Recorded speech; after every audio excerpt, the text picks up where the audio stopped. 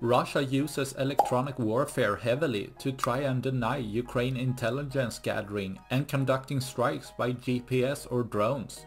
While this is effective in disrupting attacks, it isn't bulletproof. And Ukraine takes every opportunity to destroy these systems to make communication and signals less jammed.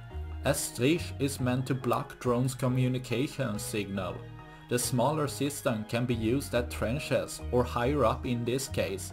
But as this electronic warfare didn't manage to stop this drone, the drones make a quick swoop pass to come back for a better hit. Hitting the system good, destroying it, leaving less jammed communication, being able to take out more equipment for tomorrow. That's all I had for this video. Please like and subscribe for more. Thanks for watching. Bye.